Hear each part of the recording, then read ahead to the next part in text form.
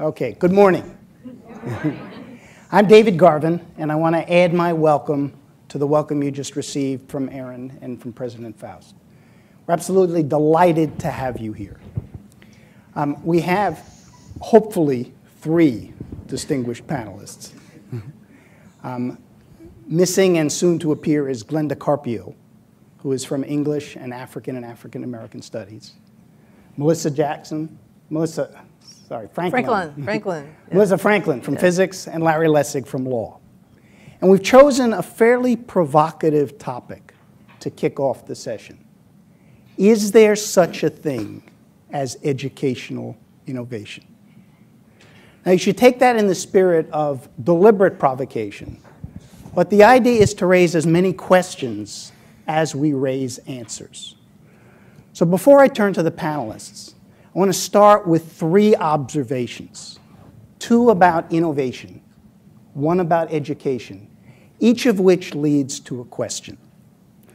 So, the first, when we talk about innovation, we typically talk as if we're talking about something new, something not seen before. But the borderline between innovation and rediscovery is actually rather slim. Often, what we're talking about when we talk about innovation is creative borrowing, borrowing from another field or another discipline. Let me give you two quick examples. The first is the case method. The business school loves to believe it invented the case method. Not true. The law school actually invented the case method.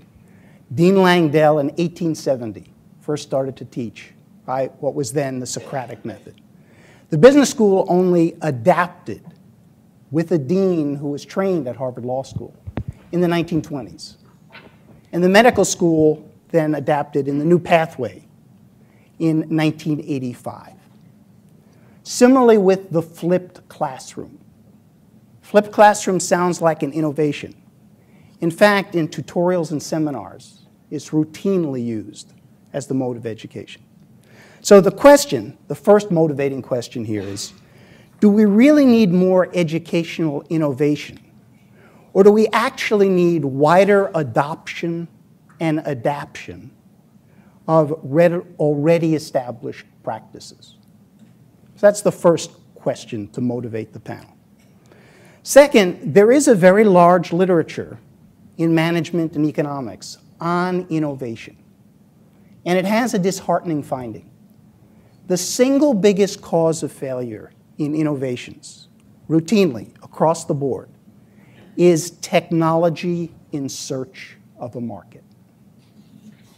Taking the latest cool new idea and pushing it out on users without getting a sense of their genuine needs and unmet demands.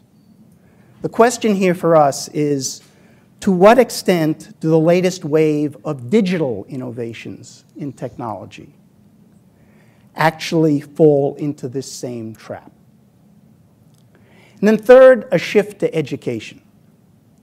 I'd suggest that many of the innovations that we're talking about have in fact been aimed at solving the same two persistent and perennial problems that have plagued education since the time of Socrates. And Aaron mentioned both of them, as did President Faust. The first is how to increase and maintain engagement. And there I would talk of engagement of both faculty and students, or faculty and learners. And second, how to minimize and overcome distance. Not just geographical distance, but the distance in mindsets, in worldviews, across generations, between novice and expert. So, again, the motivating question are we really innovating, or are we simply stuck solving the same challenging, frustrating problems? Engagement and distance. Now, with that backdrop, I want to turn to the panelists. And let's start with three questions, which we'll take in turn. What for you is an educational innovation? Can you give us some concrete examples from your own experiences? And what of those examples suggest about your own priorities for educational practice. So Glenda, why don't you start us off? Sure. Um, I would say I would take the first one, my priorities first, and then go backwards to address the questions that you proposed. Um, in my experiences teaching here at Harvard, I think one of the biggest challenges we have is to produce good citizens. Um, there is a way in which um, you know there, many of our students will become scholars, um, or I think people can hear me. Okay, can you hear me now? Okay. Um, some people will become scholars, many will go on to other fields, but no matter what, we need to make sure that we're producing good citizens. And so I think the question of uh, technology that you posed earlier, whether you know uh, whether we need to just you know we need to uh, guard against using technology as a gadget, right? As a new fad. Um, I think the question of how to produce good citizens suggests what needs do our students have um, to be savvy technology, uh, technology-wise, but also what needs do they have to go back to the more traditional questions about uh, uh, teaching, right? So can they speak about difficult subjects can, uh, with people who don't agree with them, right? Can they speak with people who are from vastly different um, cultures, right? Or uh, can they speak other languages, right? Can they, are, how, how aware are they in the world, right? And so if we take uh, these questions that are kind of basic, right? And we ask, what can technology do for that? Then I think we're in a good path, right? So the idea is also to, always to say, um, what needs do we still have? If the needs are still the traditional questions of producing good citizens, so be it. But I don't think we should uh, say we need to either go back to the traditional or adopt new technologies. I think the question is both, right? It's like the need to produce good citizens should get us to think how can innovation in technology help us form good citizens, right? So, so needs first. Absolutely. I think, you know, like you said, uh, technology in search of a market, it's the other way around, right? It's what needs can it fill? And I think one of the needs that we, that we have here at Harvard is to produce better citizens, right? People who are not just out to create great careers, but that are out to actually understand um, how to be in the world, right? How to talk about Ferguson, how to talk about ISIS, right? In, in, ways that are informed and um, knowledgeable about the world. Melissa? Uh, I really feel uncomfortable because I'm being asked to sit there and it's and you're being asked to sit there. This is one of our biggest problems, I think. Can you hear me? Really? Because I turned it off in case I said something. Can you hear me now? Uh, it's on. Hello? higher, higher, higher and higher. Maybe I should just, uh, hi. I'm I just want to tell you I'm an experimental physicist, and we don't usually have those experimental scientists here. Um, I'll come back to you. We have them only a few. I remember uh, about 10 years ago on the arts task force, there was one scientist out of 25 people. I learned a lot about innovation in that, uh, in that group of people and what not to do. And so I wanted to talk a little bit about uh, innovation. First of all, in physics, we steal whatever we can from whoever we can. I, when, uh, when this man said that uh, someone at the law school invented the case method, I'm pretty sure there was a Russian who did it first. Uh, so we just steal as much as we can. But the question I have about innovation, and so I'm sure all the innovations have happened, and everyone will say, you know, ah, I did that 10 years ago, it didn't work, you know, that kind of thing. And so the biggest problem we have is we try all these things, we don't tell anybody, it's all in our heads, and we don't communicate, and I think we should. But anyway, last year I went back because I didn't know what to say, and I only had five minutes, now I only have two. And, uh, and I looked at the HILT conference last year, and I saw this fantastic talk by a guy, Gilbert, and he was talking about how to transfer information in his head to information in the student's head. And I, said, and I thought to myself, get out of my head. Don't get anywhere near my head. And I thought, why am I having such a visceral reaction to him trying to put something in my head? Because in the future, you know, they're just going to have a machine. Every student is going to sit with a machine on their head, and they're not only going to say, is it in your head? They're going to say, is it in the right place? And I was thinking, get out of my head. The only thing I can do as a human, as a scientist, as anything, is to synthesize what you're saying in my way, make my own deep landscape, and don't bug me. That's me. So go away. So I just want to talk about that. I want to talk about what I've been doing in order to try and get the students to do their own synthesizing. It's something we don't do because we say, take differential equations and then take Newtonian mechanics and then get an A and then go to graduate school. But we never say, put all that stuff together and make sense of it. We show them a few professors who can do it, who, who have synthesized, and they go, wow, that's beautiful. But you don't want that professor to put that synthesis in your head get it out of my head. So I think this is my idea. What I'm trying to get the students to do is to think with their hands, with their heads, creatively. But it's really hard because the first thing you do is you say, what can I possibly do? I'm just a person in the physics department. You say, well, low-lying fruit, okay? The lowest lying fruit at Harvard are instructional laboratories. Haven't seen a professor in there in years. So you can do whatever you want in there. You can, I totally ripped out all the walls and changed everything. I mean, we did everything. And what we did is we got a team together and we said, we're going to make the best labs ever. And the team, in making the labs, learned a huge amount. We learned everything. We learned physics. And then we wrote it all down as a recipe and said, do this, do this, do this, do this, do this, and then you will have learned something. And of course, they didn't learn anything. Well, not much. And then we said, okay, we learned something they didn't. Let's ask them. Let's ask them to ask the questions and answer them. And so now we have something called principles of scientific inquiry, where A, you can find the greatest experimental physicists of our time in the laboratory, in the instructional laboratory with the students. You will find in that laboratory Nothing nice, nothing fixed to the ground, everything movable, everything can be drilled into, everything can be broken. We don't paint the walls, we don't allow any nice things in there. Okay? And what's really interesting, and this sort of tells you something about our world, I know my world is very weird. Our, we've built something called the SciBox. We now have three of them.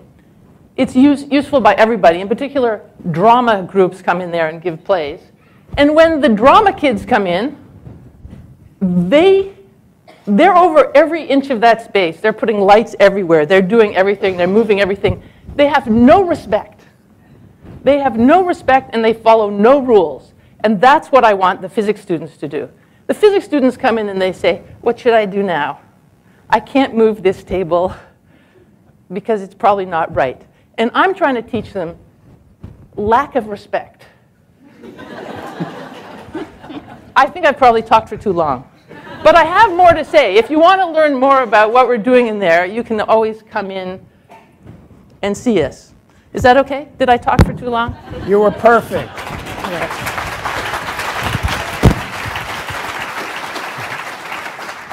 Larry?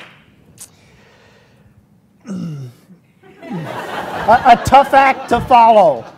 And I will not try to follow it. I will try to lead from it. Um, so I like to think about the way in which technology is involved in this question of innovation because at this stage of history, when we think of innovation, we think of technology. Um, and in the way I think about technology, I like to think about technology as architecture.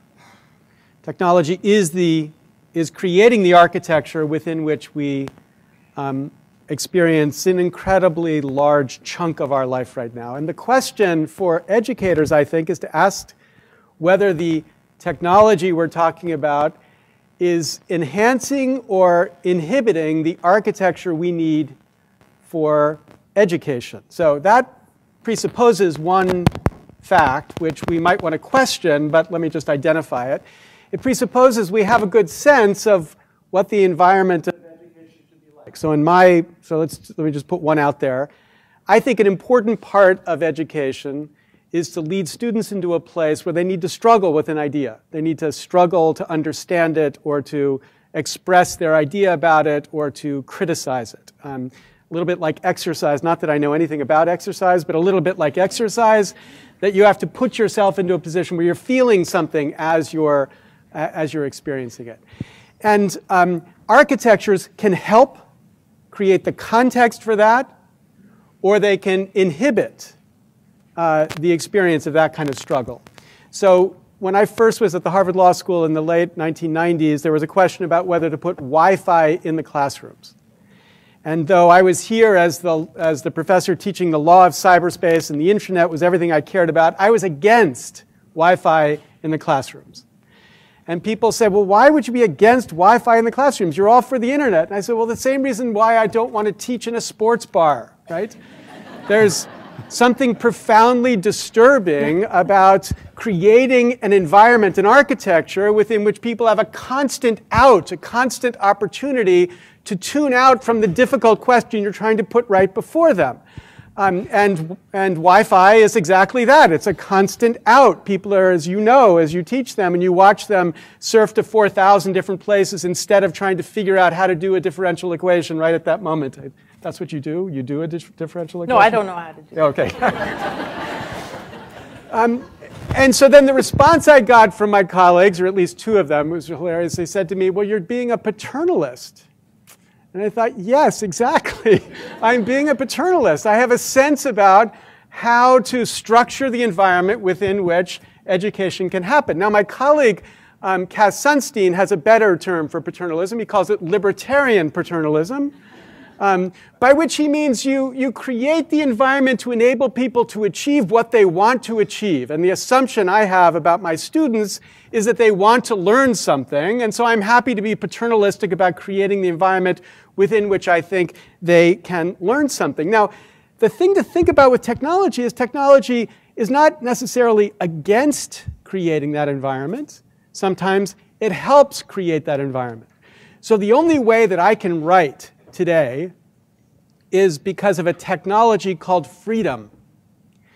And freedom is a technology that I install on my computer, and whenever I want, I can tell it how long I don't want to be on the internet.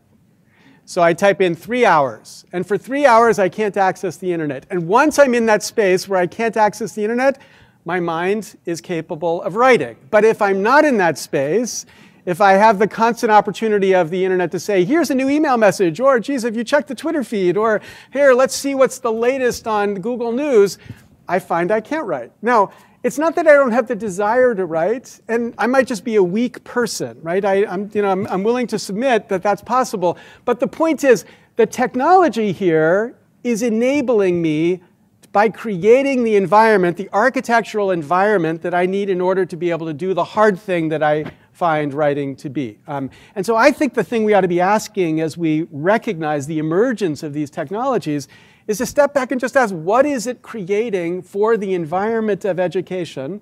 Um, and that might allow us to interrogate what we think is good about that environment of education, but at least let's map how the technology helps or hinders that environment or that architectural context. So technology is both an enabler and a potential inhibitor of learning. Absolutely. Yeah. So, so let's come back to you. You, you have some examples sure. of innovation in your own work. Well, you know, it occurs to me that sometimes students work out the hard problems that you're talking about through in the internet, right? Um, and so some, uh, one example that I wanted to give was that, you know, I was talking about citizenship, and one of the, and the needs that Harvard students have, one, one thing we need to pay attention to, and this um, I learned long ago, is to listen to what students need, Because um, if we come to them saying, you need X, Y, and Z, okay, maybe we'll hit the mark. But I think often we need to put our heads down and hear what they have to, what they need. So one thing that I, I, I, I learned from my students here um, while teaching a class on black humor, um, students really wanted to talk about race in class and gender and these things that are in some ways um, when when they um, you know but they wanted to talk about them in an impolite way right not in the general kind of you know the sort of almost really boring ways in which we can talk about these really important things right and so they wanted to talk about what used to be called, um, you know, what, what got denigrated as identity politics, right? And so I kept trying to say, this is not the space for it, this is the classroom's not the space for it, right? So, um, but I did encourage them to make something out of, out of that need. And some of my students created the um, I, I, I too am Harvard campaign, which was incredibly, um, had an incredible life on the internet, right? So they did a Tumblr, a Facebook page. They, one of the best things was that they created a play, which was based um, on a play that we had read in class, and they put it up, and they accessed all of the things that Harvard students are really good at accessing. So by the time that the play was put up, I was sitting next to a New York Times um, uh, critic, right? And so, and they called in the deans, and they, it, it, there was a part of it that was you know, sort of activist. A, a lot of the, these students wanted to talk about things that are not just important for students of color. They're, it's, they're important for everyone that needs to be a good, seeks to be a good citizen, right? So they, the, the idea of, of I2M Harvard was to talk about what's called microaggressions, right? So what people um, go around, you know, sort of suffering the like very subtle forms of racism, sexism that occur in our society, and they wanted to talk about this in the classroom, and there was no space for it, right? So they created their own space for it, um, using uh, technologies that we try to dissuade them from in some ways, right? Like to be on Facebook, right? But all of a sudden, Facebook was the way in which they were trying to, to uh, take this discussion about microaggressions to a broader form, right? I2M Harvard went viral, right? If you look at the Wikipedia page of I2M Harvard, there's a whole list of I2M put in uh, Oxford, right? Um, and a million other, not a million, I'm exaggerating here, but a lot of other um, colleges that started doing this campaign, right? And taking their own space through which they would be talking about difficult things that I think often we're too afraid to discuss with students because it gets to the realm of feeling and it's, that seems to be anti-intellectual, but it's a real problem, right? If people, if students can't talk about their lives as human beings in a classroom, right? How do we, ex we expect them to actually be engaged in problems that are more abstract, right? Um, so I think for me, narrowing that gap between the student as a human being, right? A student as a feeling, sentient, soulful person, right? Um, and a student who is also incredibly bright. Um, how do we connect those two, right? Um, because for me, uh, it, whatever it takes to connect those two, I'm game with, right? Um, and uh, seeing students take, take um, innovation, tech, you know, the technological tools that are usually distractions, right? And making, make something out of it seemed to me really important, right? And uh, something that we should pay attention to. So if we listen to what we just heard from the panelists, there, there are three themes that sound like they come through for all three. The first is when it comes to educational innovation, it should be driven by need, by students' need for having opportunities to learn. The, the second is that implicitly in what each of our three panelists said is there's the issue of space. Providing learners with sufficient space to engage with one another, to engage with the materials, and to reflect themselves. And the third, and, and here I want to shift ourselves a little bit, is implicitly, while talking about innovation, each of our panelists has talked about change. Because an innovation is no more than a subset of the larger question of change. And each one of us in our educational innovations does something that involves a mini change process change in approach, a change in perspective, a change in values. Now, let's shift to the institutional level, because this really is a panel on institutional adaptation. Change is inherently difficult. Change is slow. And there's a very good reason for it. And, and here I want to quote one of the great authorities on education, the cartoon character Pogo. Pogo once said, Most people prefer the certainty of misery to the misery of uncertainty. That, in a nutshell, is why change is so difficult. It's uncertain. We don't know what's going to come next. And the status quo has enormous power and sticking to it. Now, so what, what exactly would be a model or a framework for successful change as we think institutionally and we think about educational innovation? Now, a colleague of mine at the business school has what he calls the change formula. Before I give it to you, I need to issue a few caveats. Um, first, you should see this as fuzzy math. The mathematics don't quite add up. You should also see it has a liberal dose of business school speak. And you should assume it comes from somebody who has mathematical disabilities. Me. Or as my eldest daughter once explained to me when she came home with a glittering report card, except for a low grade in math. And I asked her what happened.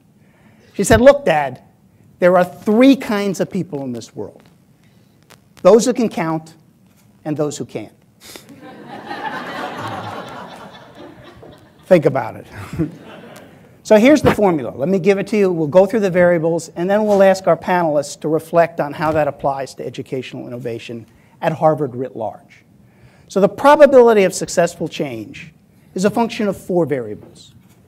D, I'll define these in a minute. D times M times P has to be greater than C. So three positive driving forces, one negative or constraining force. What's D? D is dissatisfaction with the status quo. And at an institutional level, that means shared dissatisfaction. M is a model or models of the desired future particular instructional practices, different perspectives, learning by making or learning by constructing as opposed to learning by absorbing, and modeling behavior on the part of our institutional leaders and our faculty. P is the process of change. Change is not an event that occurs at a moment in time. It unfolds, as have the HILT conferences. And those three variables, here's where the math gets a little fuzzy, somehow in combination have to be greater than C. The costs or perceived costs of change to participants. Loss of power, loss of identity, loss of self esteem. Those are the felt losses, and in particular, loss of skills Somehow, institutionally, we have to get those three variables, D, M, and P, up. And we have to get C down. And in fact, when you heard our three panelists talk, implicitly they did that at the individual level with their own educational innovations. So let's now raise it to Harvard writ large. And Glenda, we'll start with you again. Based on your own experiences, coupled with the change formula as a rough guiding framework, what are the implications for educational change at Harvard? And in particular, what works, what doesn't work, what's necessary to do, and what are some paths forward?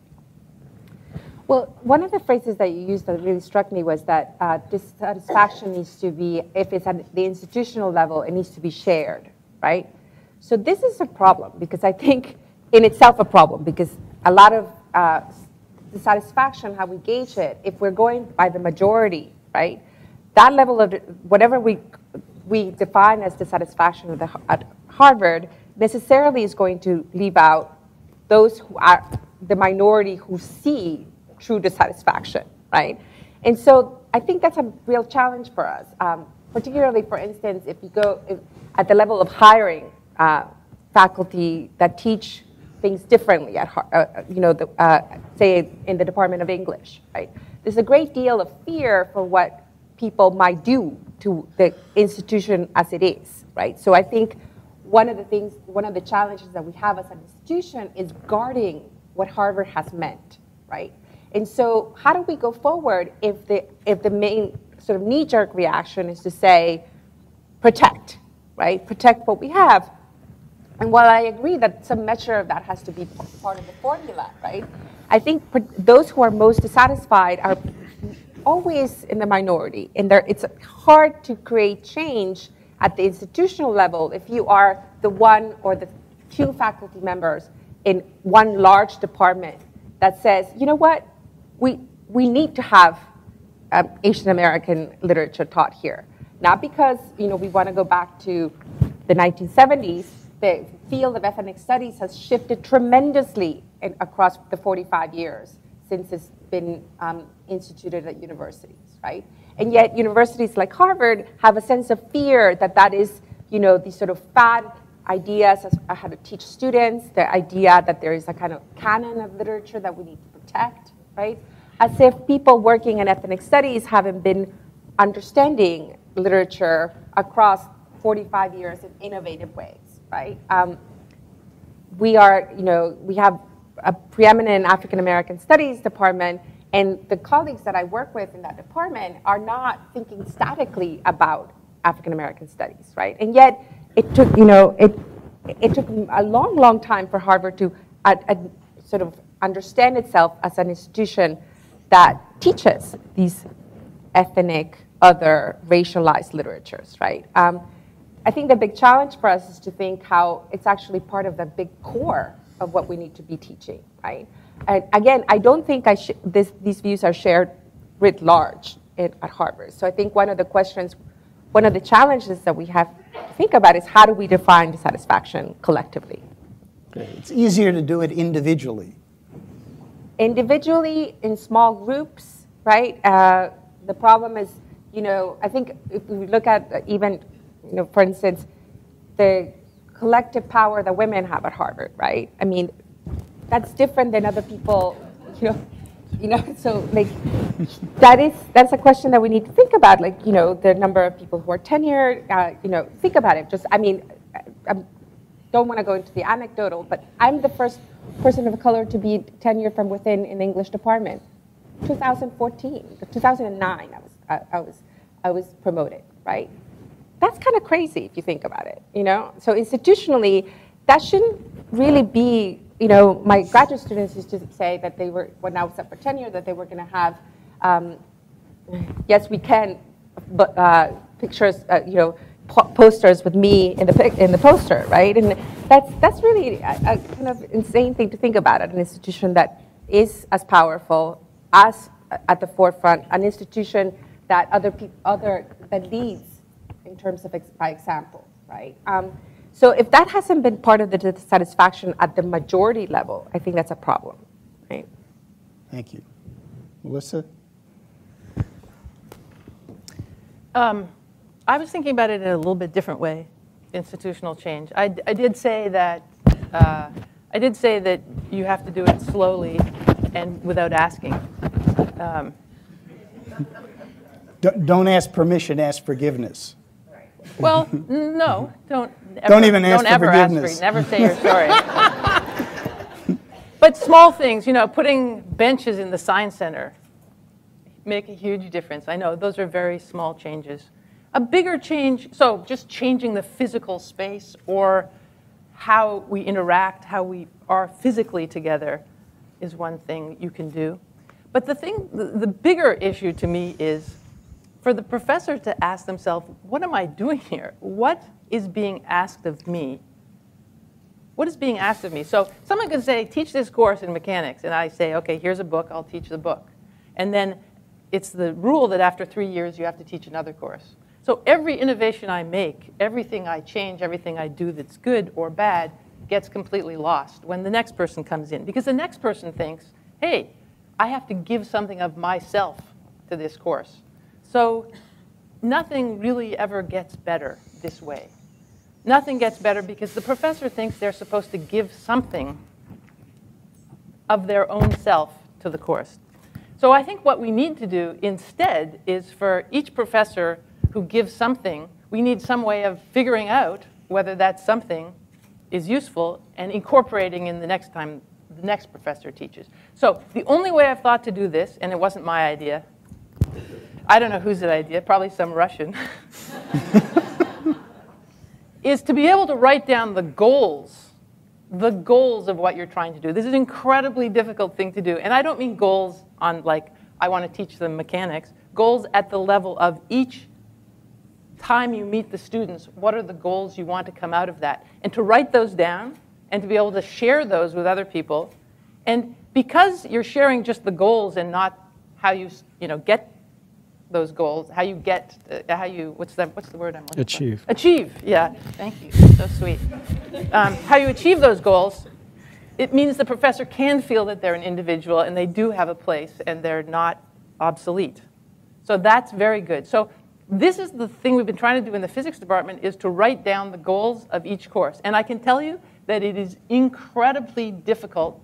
And what we've done is we've hired someone to come in and do it for us. So McKinsey's coming in. No. So, the, so but this is an incredible. Our, our department is going to be the greatest department of all time because we are going to be able to write down these goals, and the professors are going to be able to read them if they have enough Ritalin. And, and then we are going to be able to move slowly up by every person who does something good, instead of looking at them and saying, ugh, we're going to say, oh, and then we're going to use that. We're going to, we're going to do this, this thing, until eventually we won't need professors anymore. So let me give you time, Larry, to think. it, it's interesting. If you, if you reflect on what Glenda said, she emphasized the dissatisfaction and the need to get it shared. If you think about what Melissa said, she focused on the process and the various stages moving forward. Well, just, can I just say something? Your your equation is dimensionally incorrect. So I refuse. I, I refuse to have something on the left-hand side which doesn't have the same dimensions as the right-hand side. I mean, that's the only problem with it. Sorry. That, that, that's the perils of having a scientist on this panel. Larry. I am not a scientist, so feel comfortable now. Um, I think I, I want to first make sure we understand an ambiguity in the way that you're using the word change, right? Um, because sometimes, quote, change is about making things different, and sometimes, quote, change is about making things the same. So when I describe to you using the program freedom to create an environment within which I am not distracted so that I can write, that's a change to recreate something that I think we remember there was a time before the internet we used to have, which was just the ability to sit down and write without you know, constant distraction. So those changes are a way to recreate the environment you've identified as a constructive educational or, produ- or, or, or environment for producing work. Um, um, so that's the first point. And the second point is, you know, when you introduced our panel, you identified this truth that um, typically we have technologies in search of a, a of a solution, a, a problem. Um, that made it sound like these technologies were all optional, that we in some sense had the chance to reject them. And that is a good feeling because most of these technologies we should reject. But I think we need to re recognize that there are certain non-optional technologies that we will find in our environment and can't escape.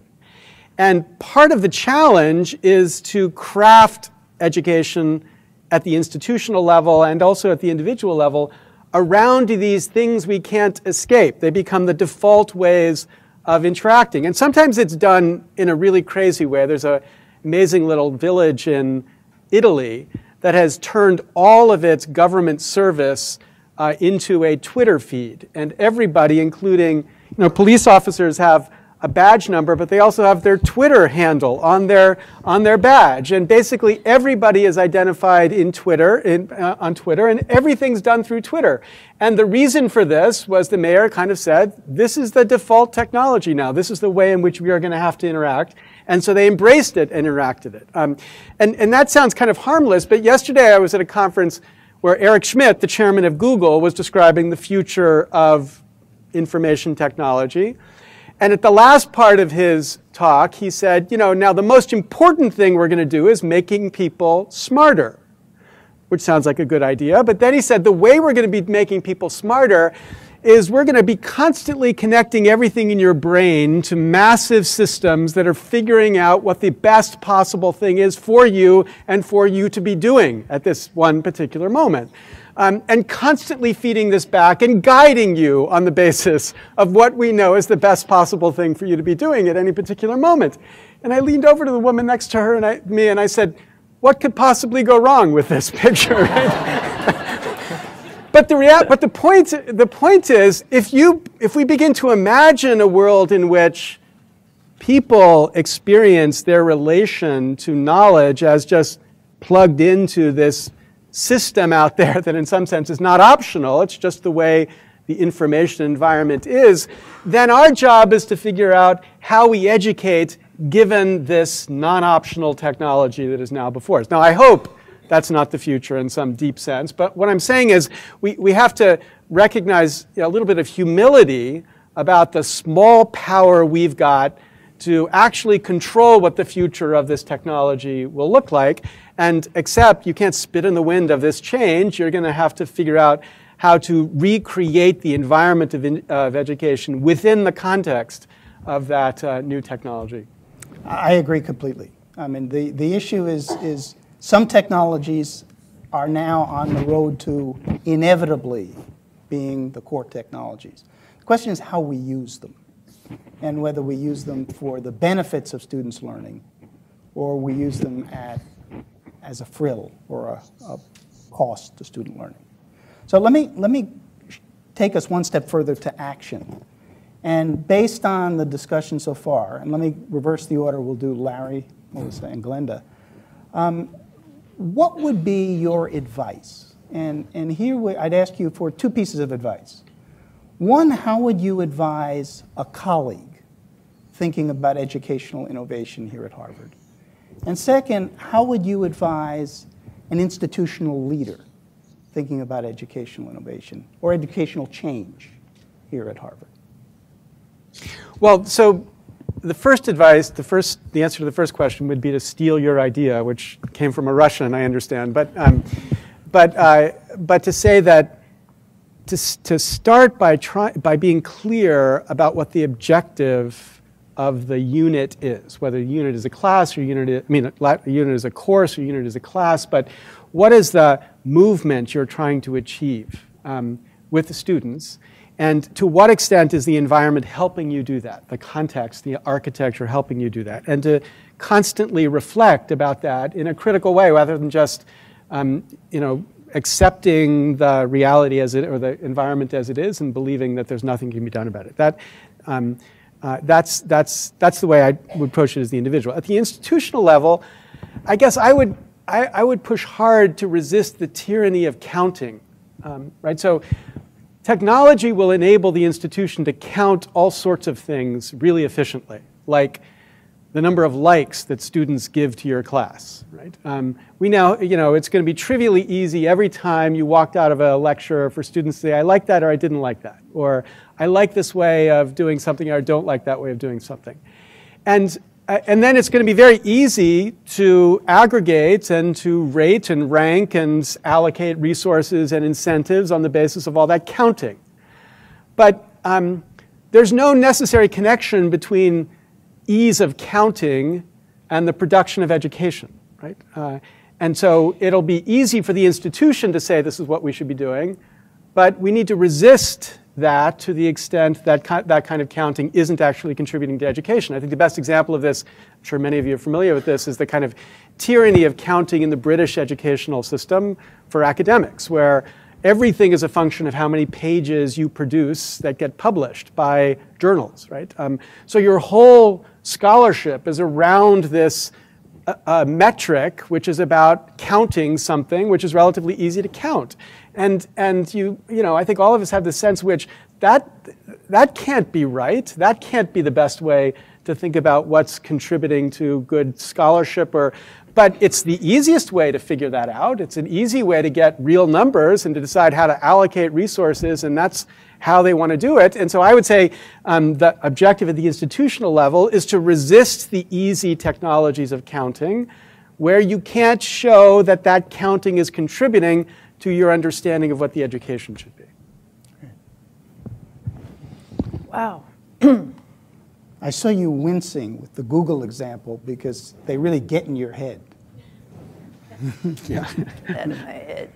Um, so is the Freedom Program just turning off wireless? Or is there actually a program? No, no.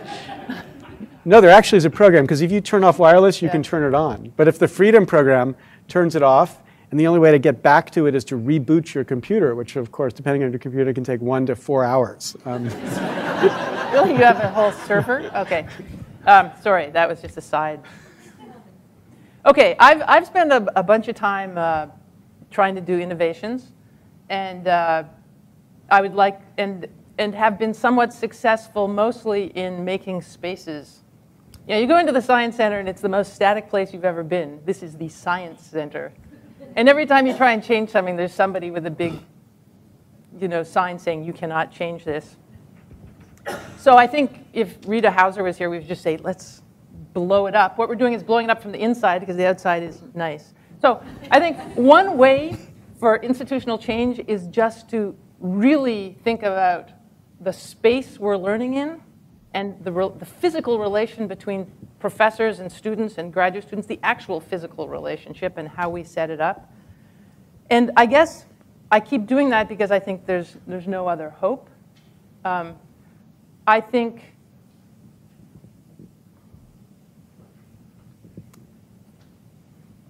I think that Harvard is woefully understaffed and in assessment, assessment of what works and doesn't work. And in order to actually get serious about education, we're going to have to have a lot more emphasis on assessment, but you know, so far we have the Q guide, which is kind of like it's like cavemen, you know. It's like cavemen, the likes. That's like oh oh. yeah. I don't know what cave women sound like. Actually, cave women sound like those uh, fraternity parties. Okay, so sorry, it's really hard to concentrate when there's so many people here I don't know looking at me. Um, but in order to do assessment, we need to have something to assess, and so we need the goals. I believe Harvard should all of a sudden scrap everything, forget technology, write down, try and come up with goals, and then get people who know what they're doing to assess those goals. Is that happening? I, I ran the physics department for four years. We tried to, once in a while, we'd find a graduate student who wanted to assess something.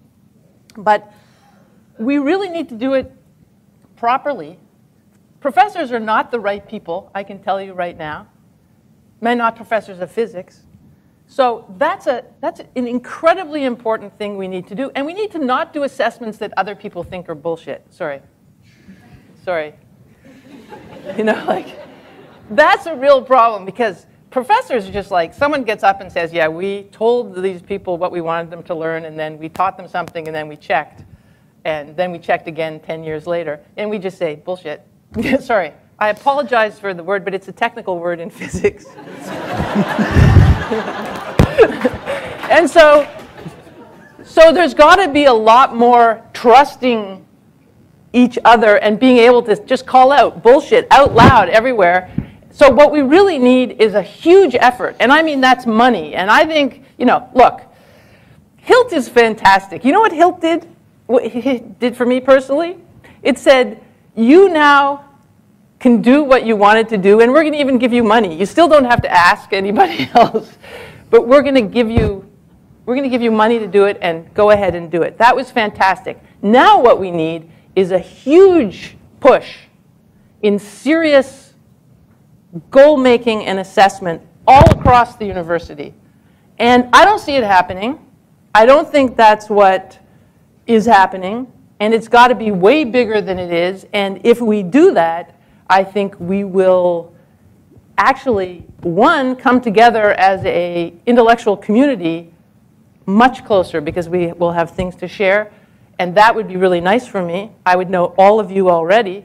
And the other thing is, we would rock because our students wouldn't know a lot of stuff, but they would be amazing people who had synthesized their everything we had said and are going to go off in the world and do amazing things. So that's my uh, stump speech. So can, we need more money, if anybody has. Okay, so you said, you know, what advice would you give to a colleague? What advice would you give to a leader in education, right? Um, and I think to a colleague, I would pass on a, a lesson that I learned. Um, I, I did the Teach for America program when it was in, in, in its infancy in Compton. And it was really hard. It was the hardest teaching job I've ever had. But the students there taught me that I need to teach by listening, by being really good at listening to my students, right? And so through the years of teaching, I've also understood that there's a great pleasure. Because I think one of the things that I love about the classroom is that you learn a whole lot from your students, right? And if you make that a priority of the way in which you think about what you want to give them, right? It's, it's a synergy that has an energy that's amazing, right? So to a colleague, I would say uh, to, to really be connected to students for what they have to teach you, right? In order to better gauge what it is that you have to teach them. Then I would say too that it's important to learn from each other, right? Just like being on this panel with people from different disciplines, it's already an interesting way to think about teaching, right? And so, you know, every so often, uh, uh, particularly one semester, I went to a colleague's lectures. I went to hear him lecture on books that I teach too. That was really cool, you know, because I think, you know, he teaches, he has a really different way of teaching American literature. But I was primarily interested because he has such a different way of doing it, right? So to my colleague, I would say, you know, I mean, I think the idea of thinking of built environments and how they influence how we connect as a community is really important. And I think too, the fact that, you know, for me, most best teaching happens Socratically, right? So that you're in a conversation with your community, with your students, and with your fellow teachers. And I think, you know, this sounds really nice, right? It's hard, right? It's really hard. And there are times in which it's difficult to, um, to gauge exactly what it is that you, your students need or what you can learn from other colleagues. But I think that's important. So that's what I would say to a colleague, right? Or uh, an, an, another, another professor. And to a, a leader, was it a leader in education? An institutional leader here at Harvard. an institutional leader here at Harvard. So a colleague of mine used to call the deans, the group of deans, the deanery, right? And it's so think about them as a kind of flock, right? And I think there's a great deal of distance at times between, you know, the, the deans, the deanery, the, the, and the professor at, in the classroom, right? And so what I would say is to think, again, to use resources for gauging um, how to how to how to clip some of that distance, right? So that there's a connection too between what administrators, uh, you know, people, uh, you know, at, at the institutional level are thinking about how what what you know what does it mean to be in the classroom, right? And how does that influence what people are talking about at the university hall? I think the gap between the two is sometimes really wide, right? Um, it seems to be two different worlds. We're talking on, on the university hall level mostly about resources, money, buildings. It's, it's, it, you know, has the field of cor- corporation. And, you know, I'm no, um, uh, despite the kind of touchy-feely things I've said here, right, I'm no, I'm not naive, right? This, we are a corporation, a huge, wonderful, big, wealthy, despite recent losses, corporation. And I think, you know, there is a gap between what people do. You know, if I take up a wonderful novel by Nabokov, what I'm doing in the classroom is necessarily going to be different than what people are doing in University Hall thinking about resources. But I wonder if the gap needs to be that drastic, you know. And so I would, I would go, I would zero in on that. Okay, thank you. So let, me quick summarize and then put us to work very briefly. So it, it, it's interesting that there's a common theme from these very disparate comments.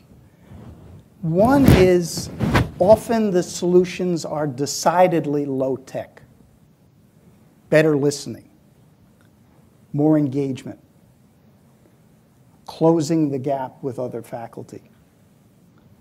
assessment, technology as an enabler. And second, we're back again to issues of engagement and issues of distance. Increasing the engagement, minimizing the distance. Now, in the last few minutes that are left, we do realize that there's an irony in having a panel presentation on a topic of engagement and distance. The irony has not been lost on us. You could easily be watching this on a screen. So what we want to do is remedy that now. So we're a large group, but we're conveniently divided into tables. So what we'd like to ask you to do is, with your table mates, caucus for a few minutes and think about your response, a collective response to a question I'll pose in just a moment. And the question will be in the very much the spirit of a comment by James Thurber, the great American humorist. It's better to know some of the questions than all of the answers. So we're going to frame it around questions. So what I'd like us to do is take a few minutes at your table and then think about what one question does this panel raise for you about improving teaching and learning at Harvard. You'll see a colored piece of paper at your table. If you could, once you've caucused, I'll call the group back to order, write out that question. Have one of you be a scribe on this colored piece of paper. We'll collect it and we'll show it during the lunch break so that we can continue that conversation. So, clear?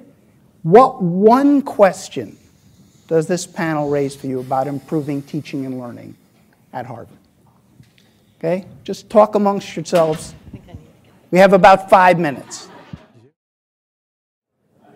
Okay, before I turn this over to Aaron, I, I want to end with one final thought. And I searched long and hard to find one of Harvard's own to comment. And this is a quotation from President Lowell. So it goes back a number of years. And he said, The great art in life lies less in solving problems than in finding the problems to be solved. I think it's as true of education as it is of this HILT conference. And hopefully, we've started a series of conversations around what are the challenges of problems we need to address going forward. So with that, I want to add my thanks to the panelists. Turn it over to Aaron.